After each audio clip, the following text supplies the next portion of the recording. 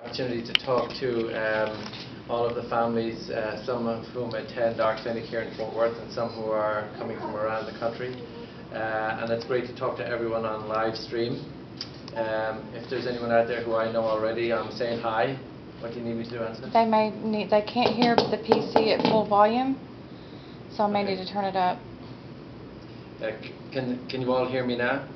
It's a long way over to Britain.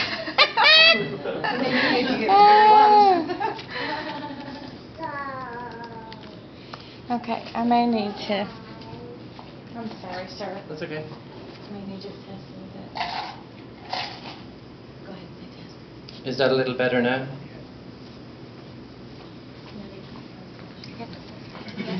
Yes, thank you, Okay. sir. So um, I thought it would be interesting. Uh, I'm going to be basically here to talk to you guys for a few hours, and uh, the first hour I thought what I would do is uh, talk to you a little bit about the history of hyperinsulinism, how it was first discovered, and uh, take you all the way through to the present time and talk a little bit about the research that we're doing uh, throughout the world, not just necessarily our research, but what's really happening in the field of hyperinsulinism. And then for the second hour, um, I understand that many of you have already emailed in uh, questions that you'd like to me to address. So we'll field all your questions and answer the questions of uh, the people who are here in the audience. So I thought I'd start off first and talk a little bit about um, the history of uh, how we got here. So it's a very interesting history because it really starts with diabetes. And, and really what's most interesting is that the latest information that we're seeing now is all coming from diabetes as well. So this disease is intricately uh, related to diabetes, although it's really the opposite in the sense that our disease is too much insulin uh, causing low blood sugars and diabetes is not enough insulin causing high blood sugars.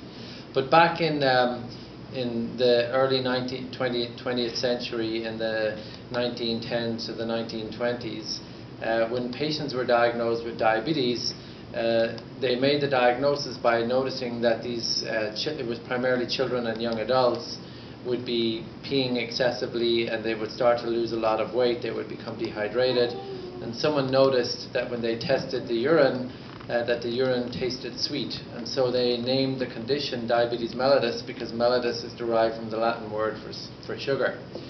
Um, and and when, these uh, kids were diagnosed, they realized that the only way to treat them was to starve them completely of all sugar in the diet, just have them eat protein, have them exercise every day. And they used to go to um, health, I guess you wouldn't call them health resorts, but uh, I can't remember what they were called in the old days.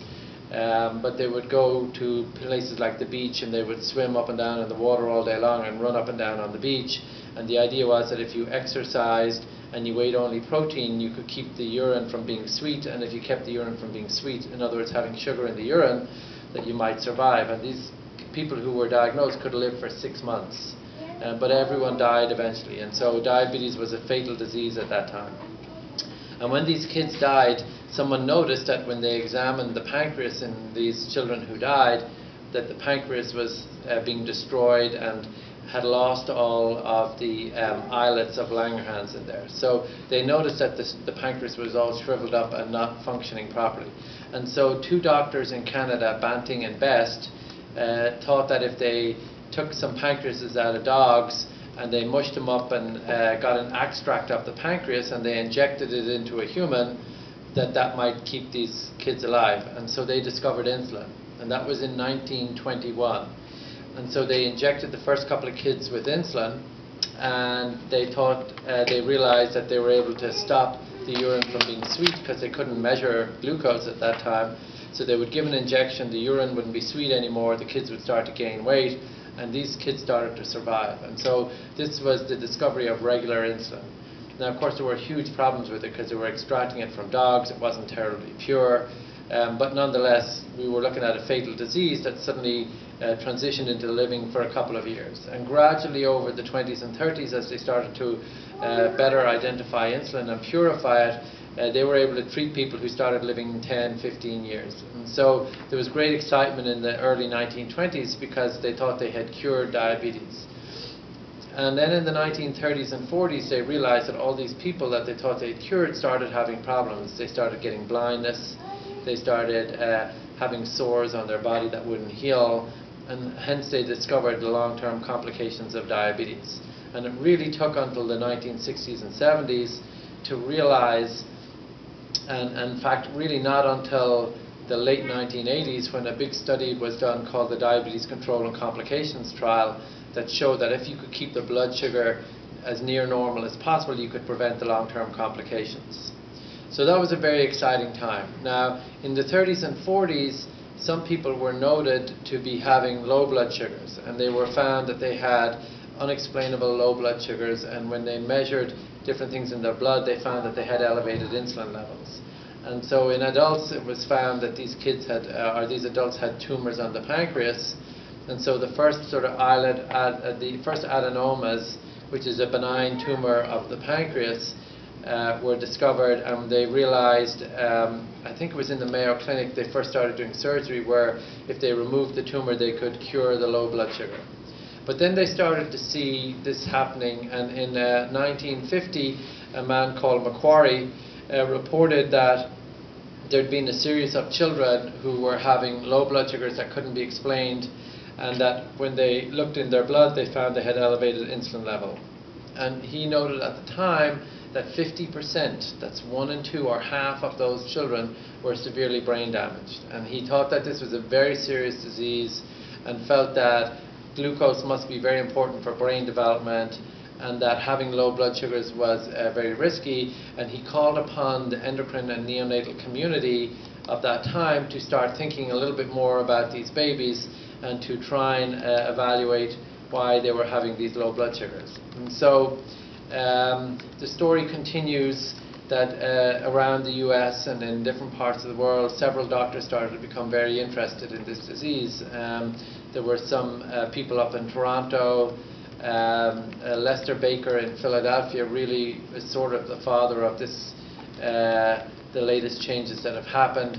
And throughout the country, uh, down in uh, Houston, various different doctors started to get involved. And um, in, in 1989, I first came to Philadelphia and started working there. And one of the first, we were seeing about four to six kids a year uh, that we were operating on. Um, we were probably at that time the biggest centre, and probably around the country everyone else was doing maybe maybe all the big children's hospitals were operating on maybe one, maybe two at most uh, children a year. And so we started looking at our children and we realized that we had a high proportion of Ashkenazi Jewish families who had hyperinsulinism, and we noticed that many of them uh, who had large families of six or seven children were having one or two or three affected children. And so we felt that this must be a genetic disease, that this was not by chance that someone got hyperinsulinism and everybody else didn't, that there must be some genetic component.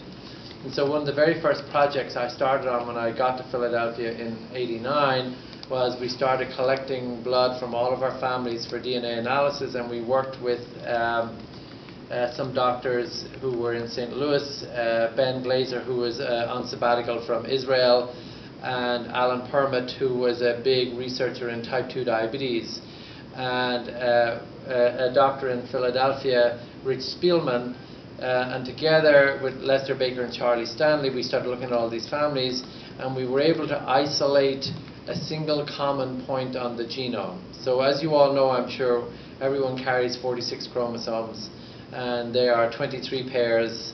You get one set of uh, 23 from your mother, one set from your father, and so it combines to give you the full set of 46. And so we looked at all of the chromosomes and found that on chromosome 13 there was an area that most people who had hyperinsulinism, and when I say most, remember we're talking about a, a huge group of Ashkenazi Jewish patients, uh, that they had the same region of the chromosome was very common amongst them all. And so we discovered this in about 92, 93 and published this data that we thought that the cause of hyperinsulinism was on chromosome 13. And about a year later in uh, Texas, uh, Lydia Aguilar-Bryan and her husband Joe Bryan were again working in type 2 diabetes and looking at different genes that might cause type 2 diabetes and they isolated a gene that they called the sulfonylurea receptor. And lo and behold, it was right where we said we thought the gene for hyperinsulinism was. And so they had a fellow called Pamela Thomas. Um, and when I was doing my work, I was a fellow as well. at a training stage in, um, in endocrinology. And so she had a couple of uh, families who happened to be from Saudi Arabia, um, and they were not Jewish. And uh, she happened to have the DNA, and when someone in her same hospital had found this uh, gene called the sulfonylurea, they said, well, why don't we sequence the gene in our children? And lo and behold, they found the first mutations uh, in the sulfonylurea receptor. And so, really, that was published in Science in 1995, and that was really the start of all of the genetic explosion that's occurred, where we now know that there are probably nine different genetic forms of hyperinsulinism. Now, all this time in Philadelphia, we uh, started to have a reputation as being the center where kids with hyperinsulinism would come, and so by the mid 1990s, we were starting to see six to ten babies a year and starting to develop a lot more expertise. And um, we had a surgeon there many years ago who really had done a wonderful job from 1960 to the mid 1990s, and then Scott Adzick moved in and became the uh, chief of surgery, and he became our pancreatic surgeon. Um, around that time now, there was some very exciting stuff going on in France. And in France, there was a, a group in the Hospital Enfant Malade uh, in Paris and they were working with a pathologist uh, from uh, Belgium called Jacques Rahier. And Jacques Rahier was a brilliant pathologist who would look at the slides and examine the pancreases of every baby that was operated in Paris. And so he would fly over to Paris when they were doing an operation and he would review the histology. And in the early 1990s, he discovered that when they did the operations, that there seems to be two patterns that he noticed. One pattern was that babies would have abnormalities in all of the islet cells in the pancreas. So remember, the islet cells are a bunch of uh, cells that contain the beta cells that secrete insulin, but they also have alpha cells and D cells that secrete glucagon. So uh, these are all bunched up together, and then the rest of the pancreas, there are cells that secrete enzymes to help digest our food.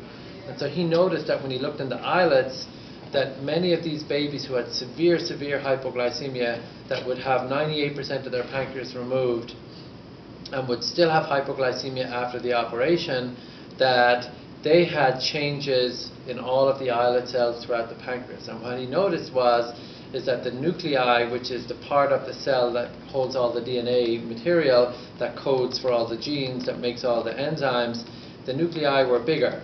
And so he noted that this nuclear hypertrophy occurred in all the cells. And then he noticed that in some of the kids who'd had a 98% pancreatectomy and were cured and didn't have any more hypoglycemia, that when he looked for that nuclear hypertrophy, he couldn't find it in all the cells. In fact, the cells were all really small and they looked like they were resting.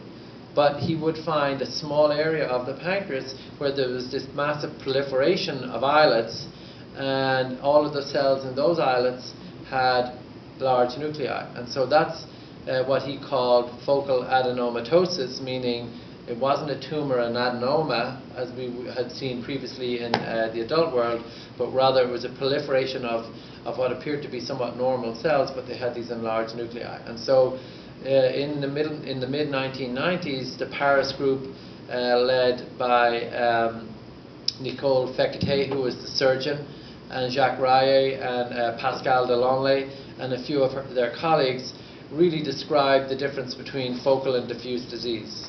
And um, the, the one thing I forgot to mention is that when we go back to 1960, when we were operating on these children, we would start off and take out half their pancreas. And we noticed that a small number of kids were cured, but say 60, 70% of the kids were not cured. So then the surgeons started taking out 75% of the pancreas. And we notice now that the cure rate went up to about um, 25 to 30%. And then we started taking out 80 to 90% of the pancreas, and our cure rate kept going up. But when we got to 98% of the pancreas, we seemed to get stuck where about half the kids were cured and half weren't cured. And, and so that's what led Jacques Rahier to make the pathological uh, diagnosis.